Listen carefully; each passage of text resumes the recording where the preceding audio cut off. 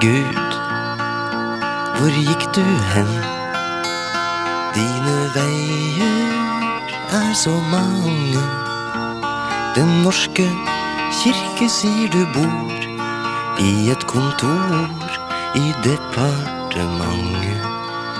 Hei, Gud, ditt navn det står under GI, Statsarkivet, og lønnes efter regulativ med arbeidstid fra ni til fire.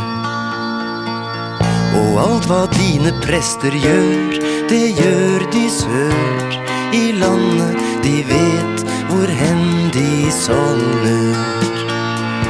De snakker vakkert om misjon og følger troen i strøket rundt Ullern, Ris og Frogner.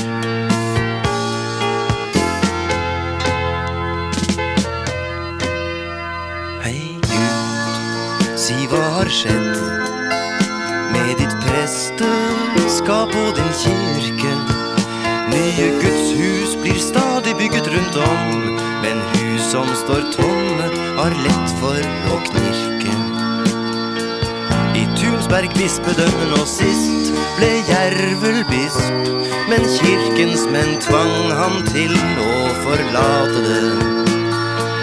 Jeg sier deg, Gud, at det var sånn å lese om et sjefsvalg ved Nationaltheatret.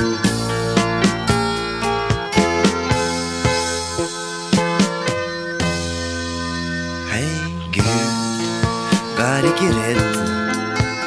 Det vi trenger, er å få se deg. Dette var en liten rapport fra landet vårt